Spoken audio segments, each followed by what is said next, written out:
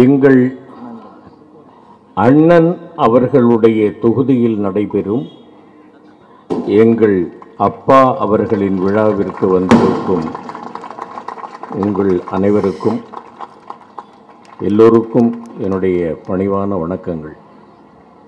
தம்பி ரவி பல மேட்டர் சொன்னாங்க. அப்பாவை பற்றி தானை தலைவர் தமிழினத் தலைவர் வாழும் வள்ளுவர் முதல்வர் கலைஞர். எத்தனையோ பட்டம் இருக்கலாம். ஆனால் எனக்கு தெரிஞ்சது அப்பா அப்பா அப்பா மட்டும்தான். அப்பா அவர்கள் நம்மை பிரிந்து சென்றபோது நான் வெளி ஊரில் இருந்தேன் வர முடியல. எங்கே பார்த்தாலும் வந்து பஸ்ஸு எதுவுமே கிடைக்கல. வந்த உடனே நான் வந்து அப்பா உறங்கி கொண்டிருக்கின்ற இடத்திற்கு போனேன். எனக்கு பேச முடியல. கேமராவில் வச்சு கேட்டாங்க பேசுங்கன்னு. முதலில் எங்கள் அப்பா என்னை பிரிந்து சென்றார். இரண்டாவதாக சிவாஜி அப்பா பிரிந்து சென்றார். மூன்றாவதாக கலைஞர் அப்பா பிரிந்து சென்றார். அப்பொழுது நான் பேசும்போது சொன்னேன் முதல் இரண்டு தகப்பனார்களும் என்னை பிரிந்து சென்று விட்டார்கள். இப்போ கலைஞர் அப்பாவும் போயிட்டாங்க. இன்றைக்கி தான் நான் உண்மையிலேயே அனாதை ஆயிட்டேன் அப்படின்னு அழுத அவங்களுடைய தமிழை கேட்டு கேட்டு கேட்டுக்கொண்டே இருந்து இப்போவும் கேட்டுக்கொண்டே இருந்து தானே இந்த அளவுக்கு பைத்தியம் முடித்து தெரிஞ்சுக்கிட்டு இருக்கிறோம். பேனாவில் மையை ஊற்றி எழுதியவர்கள் இருந்த காலத்தில் தன்னுடைய பேனாவில் மட்டும் எரிமலை குழம்பை ஊற்றி எழுதியவர் எங்கள் அப்பா. அவங்களுடைய வசனங்களை பேசுகிறதுக்கு எனக்கு நிறைய வாய்ப்புகள் கிடைச்சிருக்கு. தென்பாண்டி சிங்கம்ல நான் சின்ன மருதுவா நடிக்கும்போது அவனுடைய வசனங்களை பேசினேன் அதே மாதிரி நியாயத்தராசில் தண்டிக்கப்பட வேண்டும் பண்ணை முதலாளி பரமானந்தம் தண்டிக்கப்பட வேண்டும் இமயமலை வீழ்ந்தது போல் விழுந்து விட்டான் ஜாரரசன் அவனை சூழ்ந்து நின்று சமயம் உள்ள படிக்கலாம் பொய் கூறி அறங்கொண்டு சூழ்ச்சிகள் செய்து சுமடர் சடசடவென்று சட் என்ன தமிழுங்க? இதை பேசினாலே தமிழ் தெரியாதவங்களுக்கும் தமிழ் வந்துருமே? அந்த அளவுக்கு ஒரு எல்லோரையும் கட்டி போட்டு வைத்த கட்டி போட்டு வைத்திருக்கின்ற ஒரு அற்புதமான எழுத்துக்கு சொந்தக்காரர் எங்கப்பா. சினிமா துறை. அவரை சொல்லாமல் நீங்க சினிமா துறையை சொல்லவே முடியாது. எத்தனையோ அற்புதமான விஷயங்களை அவங்க வந்து செய்திருக்கிறாங்க. இன்றளவும் எத்தனையோ அவர் அவங்க வந்து புறநானூற்று தாயெல்லாம் அவங்க எழுதினதெல்லாம் நீங்கள் எடுத்து படிச்சீங்க அப்படின்னாக்க வந்து அது புறநானூறு வந்து நம்ம படிச்சிருக்கிறோம் படிச்சிருந்தது புரியலை. அதை எளிமைப்படுத்தி அதை கவிதைப்படுத்தி அழகாக சொல்லி இருக்கிறார்கள் குடிசைதான் ஒரு புறத்தில் கூறிய வேல்வாள் வரிசையாய் அமைந்திருக்கும் வையத்தை பிடிப்பதற்கும் வெம்பகி முடிப்பதற்கும் வடித்து வைத்த படைக்கலம் போல் மின்னும் மிளிரும். புலியின் குகையினிலே அழகில்லை புதுமையன்று கிளியும் மெய்சிலிருப்பும் கீழிறங்கும் தன்மையும் தலைகாட்டா மானத்தின் உறைவிடம் மறவன் மாளிகை இல்லத்து வாயிலிலே கிண்ணத்து சோற்று.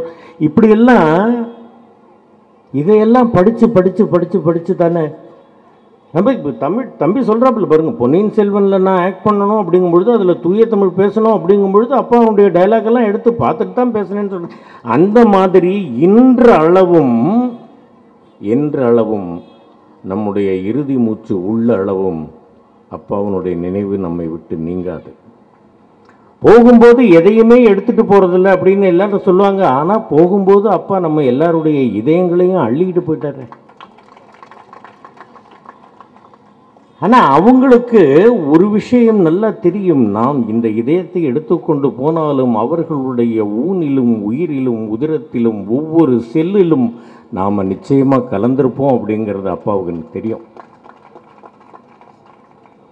அந்த மாதிரி ஒரு மகாமனிதர் ஆயிரத்தி தொள்ளாயிரத்தி எழுபத்தி ரெண்டில் தான் நான் முதல் முதல்ல அப்பாவை பார்த்தேன். எங்கள் அப்பாவோட போய் எங்கள் அப்பாவை அண்ணன் அப்படின்னு ரொம்ப ஆசையாக கூடுவாங்க ஏன்னா எல்லாரும் ஒரே மாவட்டம்.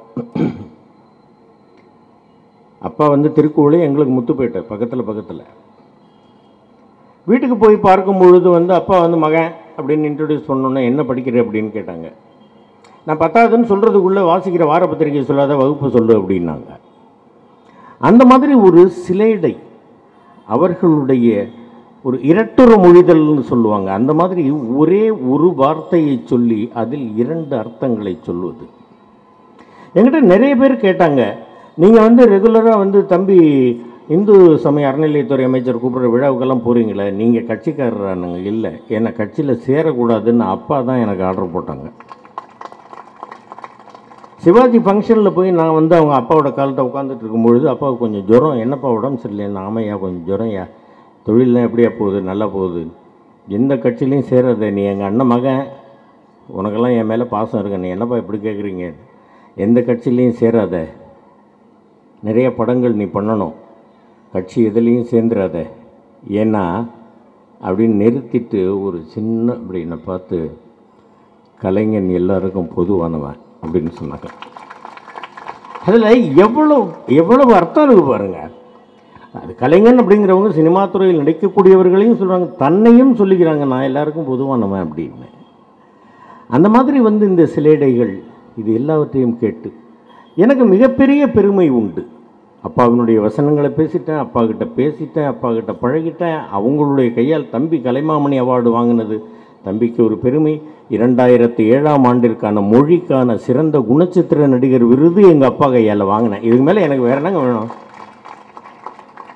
நிறைய பேர் கேட்டாங்க உங்களுக்கு ஏன் தேசிய விருது கொடுக்கலன்னு? எங்கள் சிவாஜி அப்பாக்கே கொடுக்கலையே. எனக்கு கொடுத்தா என்ன கொடுக்கலன்னு என்ன? நான் ஏதோ எங்கள் அப்பா கையால் நான் வந்து மொழிக்கான குணச்சித்திர நடிகர் விருது தமிழக அரசனுடைய சிறந்த குணச்சித்திர நடிகர் விருது எங்கள் அப்பா கையில் வாங்கிட்டேன். அப்புறம் இதை விட ஒரு மகனுக்கு வேற என்ன பெருமை வேணும்? இந்த மாதிரி விழாவில் எல்லாம் வந்து அப்பாவை பற்றி பேசுறதுக்கு இதுக்கே நாம் வந்து பெரிய புண்ணியம் பண்ணியிருக்கணும். இதுக்கே நமக்கு வந்து எங்கள் அப்பாவினுடைய ஆசீர்வாதம் இருக்கணும். இருந்தால் தான் வந்து பேச முடியும். அவங்கள பற்றி இல்லை நான் எல்லா பேட்டியிலையும் நான் சொல்லுவேன். எனக்கு மூன்று தகப்பனார்கள். எங்கள் அப்பா. காலையில் உட்காந்து பேப்பர் படிக்கணும். தப்பு வந்துன்னா பலார்னு கழுத்து மேலே விழும் இப்போவும் அடிக்க போகிறாரோன்னு பயந்துக்கிட்டே தமிழை ஒழுங்காக பேசிக்கிட்டு இருக்கேன். ரெண்டாவதாக எங்கள் கலைஞரப்பா அவங்களுடைய எழுத்துக்களை படித்து சிறு வயதிலிருந்து நினைவு தெரிந்து எனக்கு தமிழ் மேலே ஆர்வம் வருவதற்கு ஒரு காரணம் நான் எங்கேயோ கான்வெண்ட்டில் யூனிட்டில் படிச்சுட்டு நான் இதை child child child no play இந்த வெல் வி பிளேயிங் ஒன் இது புளிய மாட்டு நெயில் அப்படிலாம் நான் பேசிக்கிட்டுலாம் இல்லை. தமிழை தமிழாக பேசுவதற்கு கற்றுக் கொடுத்தவர் தமிழை நேசித்த எங்கள் அப்பா.